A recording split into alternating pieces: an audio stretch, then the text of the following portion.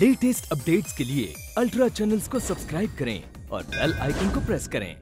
घंटे भर से हम आप लोगों की बकवास सुनते आ रहे हैं। हम कब तक अपना गुस्सा पियेंगे मुनीम जी? हाँ मत पीजिए। हाँ नहीं पियेंगे हम। बात का सर पैर नहीं बके जा रहे हैं बकर बकर बकर बकर बकर बकर। हर आदमी साबित करने की कोशिश कर रहा है कि बहुत अच्छा स्पीकर है बहुत अच्छा बोलता है। ये दिल्ली की पार्लियामेंट नहीं है हमारी पार्लियामेंट है, हैं? हाँ। या वही आदमी बोलेगा जिससे हम सवाल पूछेंगे? डैडी बेटी रेखा। डैडी क्या हुआ बेटी? क्या हुआ? डैडी डैडी हम है ना गिरधर के आम के बाग में गए थे। उसके सारे पेड़ आमों से भरे थे। हमने एक पेड़ पर चढ़कर आम तोड़ा तो इतने में गिरधर आ गया। और आते ही हमें डांटने लगा ए लड़की उतर नीचे। और फिर हमें गाली भी देने लगा। गिरधर ने तुम्हें गाली दी? हाँ। गिरधर गाली देना कब से सीख गया? क्या वो जानता नहीं कि इस गाँव में सिवा हमारे गाली देने की इजाज़त किसी को नहीं? फिर उसने हमें धक्का देकर बाहर निकाल दिया उसने तुम्हें धक्का दिया? हाँ। मुनीम जी। हाँ हाँ जी। हम यहाँ के कौन है? कौन है? कौन है नहीं, हम? मैं- आप आप हम यहाँ के महाराज महाराज हैं। और ये हमारी कौन है? ये ये, ये आप, आपकी बेटी है सरकार? बेटी है ना? तो फिर उस गिरधर की मजाल इतनी कैसे हुई कि उसने बदतमीजी के साथ हमारी बेटी को गाली दी? बदतमीजी से क्या सरकार? उसको तो तमीज से भी गाली देने की इजाज़त नहीं है। उसके मुँह से गाली निकली कैसे? हो सकता है कि चर्बी ही चढ़ गई होगी। चर्बी किससे पूछ के चढ़ी? मैं एक काम करता हूँ पहले उसकी चर्बी उतारता हूँ फिर उससे पूछता हूँ चर्बी कैसे चढ़ी। हाँ बंदूक जी गेंडे हमारे साथ आओ। मुनीम जी पार्लियामेंट संभालो। पार्लियामेंट संभालो। कोई आम बचने ना पाए। वो टहनी हिला के गिराओ। गिराओ। वहाँ से भी गिराओ। एक आम बचने ना पाए दरखत पे। वो दो आम हमको दिख रहे हैं वो भी गिराओ। खामोश। खामोश। खामोश। हम ज़िंदगी भर तक तुम्हें अपने कदमों में रोता हुआ देख सकते हैं लेकिन अपनी बेटी की एक सिस की बर्दाश्त नहीं कर सकते। सरकार मुझ पर जुलम मत कीजिए। ये मेरी साल भर की कमाई है सरकार तो क्या हुआ? क्या हुआ? ये सारे के सारे आम एक बैलगाड़ी में डाल के हमारी हवेली में पहुँचा दो। ये लो। तुम। तुम्हारी लूट मार को खत्म करके तुम्हारी ज़बरदस्ती की हुकूमत को उजाड़ने वाला हिम्मत वाला। क्या मतलब? इतने सारे आमों के बदले सौ रुपया देकर तुम इस गरीब का खून चूसना चाहते हो? लगता है गाँव में नए आए हो। तुम हमारा कुछ नहीं बिगाड़ सकते। हाँ मैं तुम्हारा कुछ नहीं बिगाड़ सकता। हम्म। मैं यहाँ से चुपचाप चला जाऊँगा और मेरे जाने के बाद तुम्हारे चेहरे पर एक जंग जीतने वाली मुस्कुराहट आ जाएगी। और जब तुम अपने घर जाओगे और घर जाकर हराम की कमाई से पकाया हुआ खाना खाने के बाद आराम करोगे, अचानक आधी रात को तुम्हारी खाट चलने लगेगी, तुम्हारी आँख खुल जाएगी। तुम सोचोगे, हे भगवान, ये खाट कहाँ जा रही है? तुम उठने की कोशिश करोगे, मगर उठ नहीं पाओगे। तुम लाचार देखते जाओगे और चार पाई आगे बढ़ती ही जाएगी, गाँव की हद से बाहर निकल जाएगी। और बिना फाटक की रेलवे लाइन पर रख दी जाएगी। और दूसरी तरफ़ से ट्रेन तुम्हारी तरफ़ बढ़ती आएगी। बढ़ती आएगी। बढ़ती आएगी। आ गई। और तुम्हारे छोटे छोटे टुकड़े करते हुए निकल जाएगी। दूसरे दिन सारा गाँव कहेगा, बेचारा शेर सिंह, हराम की मौत मारा गया। सब लोग तुम्हारी मौत पर अफसोस करेंगे। और मैं कहूँगा सारे गाँव की पनौती गई। वाह बेटा वाह। हमारी कहानी हमारे ढंग से हमको सुना के हम ही को डराते हो? बंदूक चे।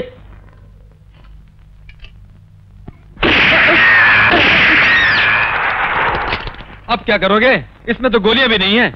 इसे चूल्हे में फेंक दो। हमारी बंदूक हम ही से छीनकर हमारी गोलियाँ हवा में जाया करके हम पे रोक जमाने वाला कौन है? कहाँ से आया है? दिल्ली से आया हूँ। दिल्ली से? हाँ। दिल्ली से।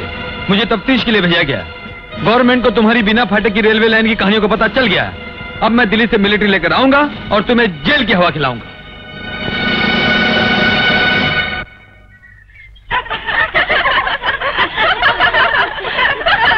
देखा देखा ये बैल देखा कैसे मस्त है। वो आदमी ने अभी खरीद के लाया है।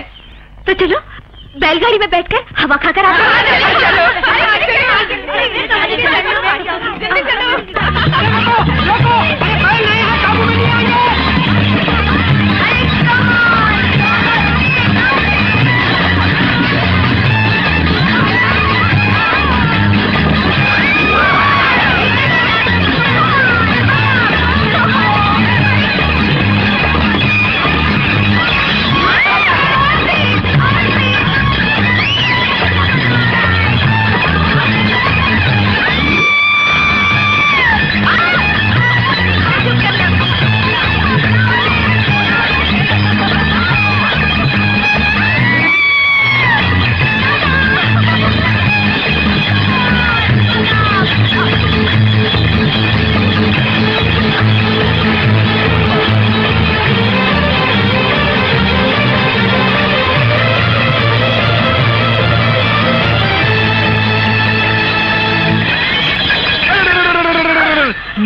बहुत अफसोस है कि तुम बैलगाड़ी से गिर गई। कहीं चोट वोट तो नहीं लगी?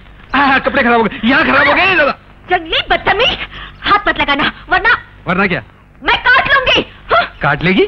अरे लड़की है ये जानवर? मिस्टर रवि तुम रामनगर में बनने वाले डैम के इंजीनियर अपॉइंट किए गए हो। फ़ौरन वहाँ जाके डैम के लिए मुनासिब जगह तलाश करो। जी हाँ। और हाँ तुम्हारे रहने के लिए क्वार्टर्स का बंदोबस्त कर दिया गया है। Thank you sir all the best thank you very much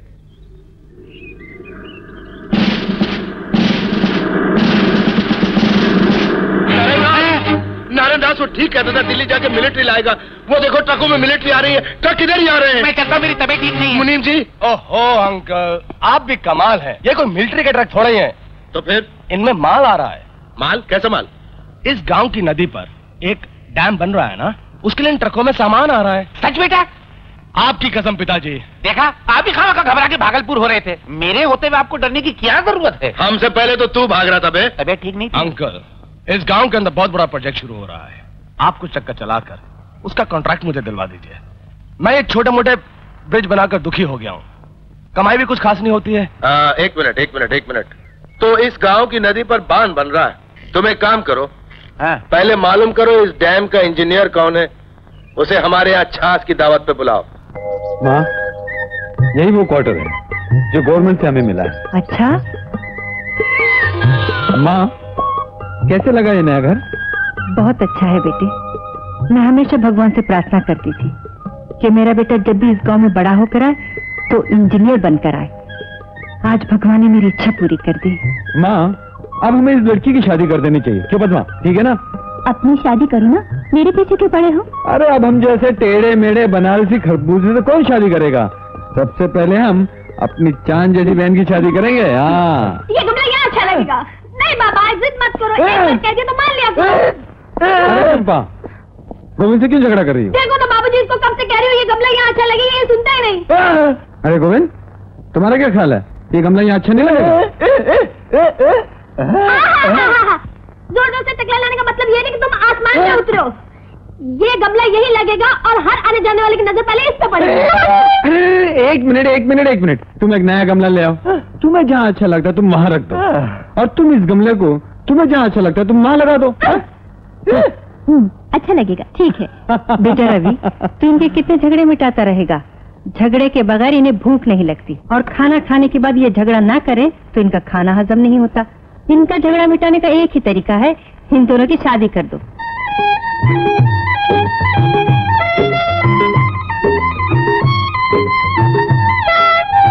देखिए मुनीम जी, मुझे काम करने दीजिए। मेरा दिमाग मत चाटिए। मैं यहाँ डैम के लिए जगह तलाश करने आया हूँ। बेकार लोगों की बेकार जमीनें बिकवाने नहीं आया। क्या रे इंजीनियर बाबू अगर तुमने शेर सिंह की बात नहीं मानी तो तुम्हारी नौकरी गोदावरी हो जाएगी।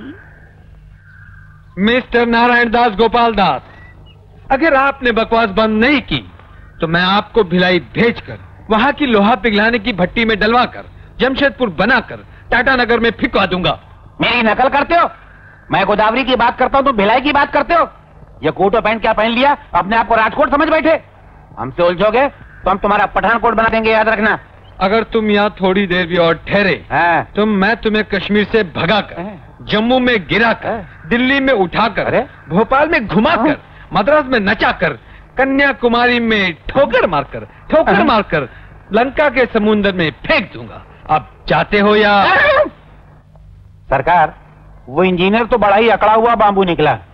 वो छाछ और शरबत के चक्कर में पड़ने वाला नहीं है और अगर हमने कोई ज़बरदस्ती की तो हमारा ही छाछ बनाकर हमें पिला के निकल जाएगा। नारायण दास तुम्हारा नाम नारायण दास के बजाय गधे दास होना चाहिए था। हाँ? सही वक्त पर सही राग अलापा करो और मौका देख के मंत्र पढ़ा करो।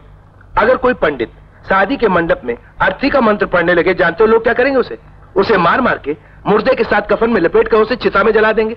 सही वक्त पर सही मंत्र पढ़ा करो। मैं वहाँ धंधे की बात करने गया था या मंत्र पढ़ने गया था? यही कमी है ना तुम में? अगर तुम सही वक्त पर सही मंत्र पढ़ सकते तो आज हम नौकर और तुम मालिक होते। हाँ ये तो सही अब देखो सही मंत्र पढ़ के हम उस इंजीनियर को किस तरह अंजीर बनाते हैं। वाह सरकार ने बहुत अच्छा मकान दे दिया रहने को। बंदूक जी अंदर बोलो हम आए हैं। तुम? जी हाँ मैं। मैं ही इंजीनियर रवि हूँ। तो उस रोज मुझे तुमने क्यों कहा था कि तुम दिल्ली से आए हो? वो तो मैंने मज़ाक किया था। क्या है इंजीनियर बाबू? मेरे पास एक 200 एकड़ फालतू ज़मीन है। बिल्कुल बेकार पड़ी हुई है। अगर आप गवर्नमेंट से सिफारिश करके वहाँ एक डैम बनवा देंगे मेरी फालतू ज़मीन बिक जाएगी।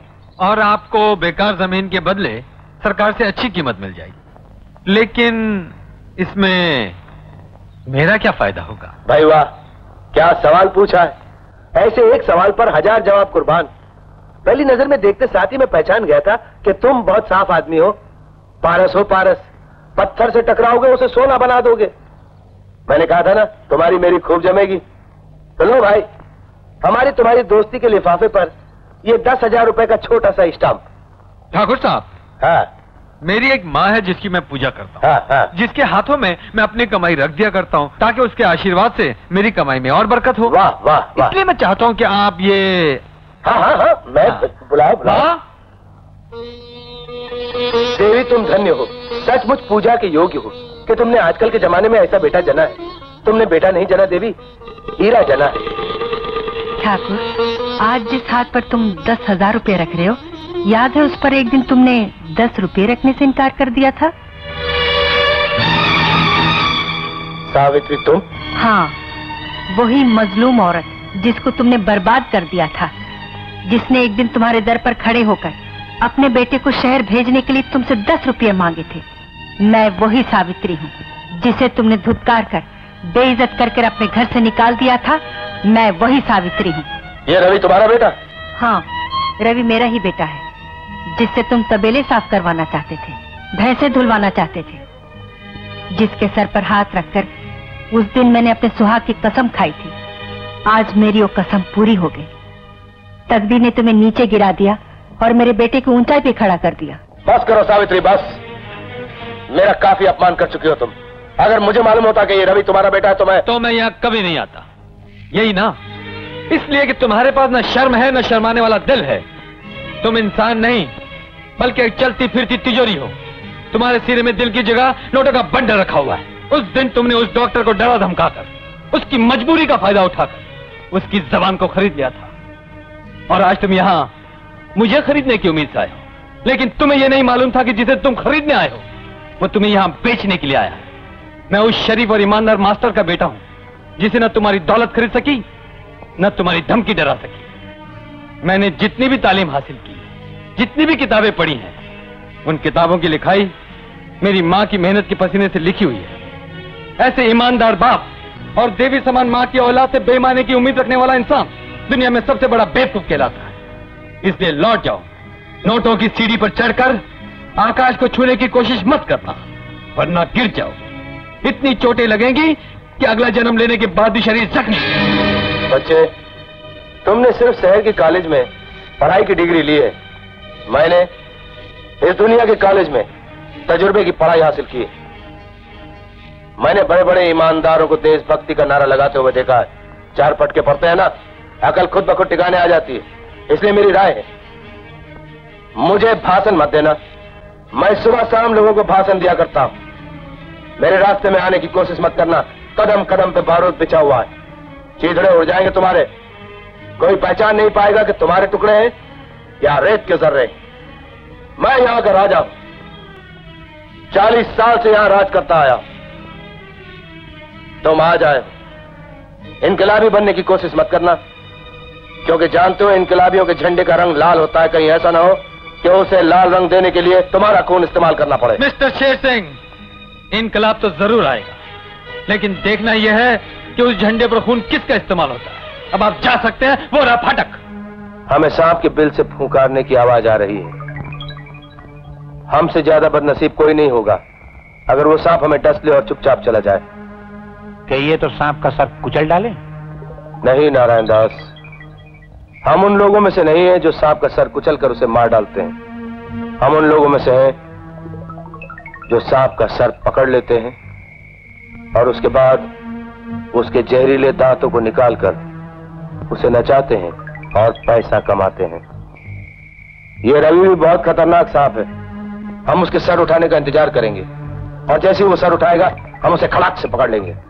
मैं सुना है सांप को बीन की धुन बहुत पसंद है। बीन सुनने के बाद वो सर उठाता है और फन फैला देता है। हम्म, ठीक है। तो फिर जाओ और मालूम करो ये कौन सी बीन पर सर उठाएगा। इसकी पसंद क्या है ये किससे प्यार करता है? फ़ौरन छानबीन शुरू करो। ये तुम्हारा भाई किस मिट्टी का बना हुआ है? अभी अभी गाँव में आया है और आते लोगों के दिलों पर छा गया है। कोई खास बात तो ज़रूर है उसमें। खास बात यह है कि वो अपनी जबान के और सूल के पक्के हैं। जो बात कहते वो पत्थर की लगी। दुनिया इधर की उधर हो जाए पर वो अपना कहा ज़रूर करेंगे।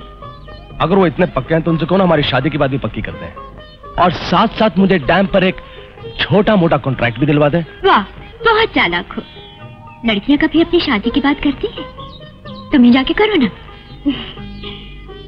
ठीक है? काम बड़ा प्यारा मैं खुद ही फिसल रहा हूँ। ये कैसा गाँव है? मैं कैसे फिसल सकता फिसलना तो चाहिए नहीं था। मगर ये सब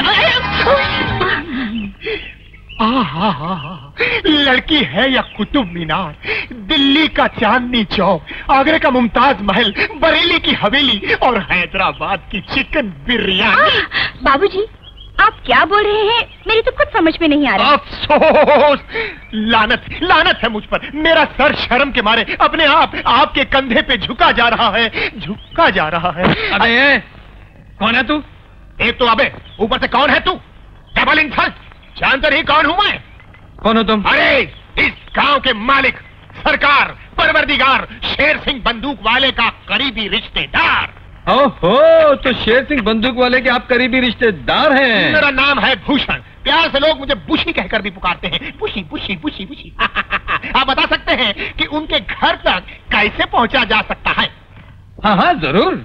लेकिन भूषण हाँ साहब इस गाँव का असूल है कि आँख के अंधे को मर्द हाथ पकड़कर मंजिल तक ले जाते हैं और अकल के अंधे को औरतें ले जाती हैं। आप कौन सा वाला हाथ पसंद करेंगे? दूसरा दूसरा टाइप औरत वाला। तो फिर आँखें बंद करो। हाँ। शाबाश खोलना नहीं आँखें? चंपा हाँ। भूषण साहब को घर तक ले जाओ। चलो चलो। क्या हाथ है? वो चली चली रे पतंग चली चली रे। कुछ के पार क्या नाजुक हाथ है? देखो बाबूजी आप आँखें मत खोलो। नहीं नहीं। मैं मगर मैं ये नीचे कहाँ जा रहा हूँ? ये ढलान कैसी है? बाबूजी, ये नज़दीक का रास्ता है, आप जल्दी पहुँचोगे। जल्दी पहुँच जाऊँगा? हाँ, हाँ, मुझको भी जल्दी पहुँचना अरे मुझे पानी में से कौन निकालेगा? जल्दी। कोई बात नहीं, शेर सिंह बंदूक वालों को बोल दूँगा।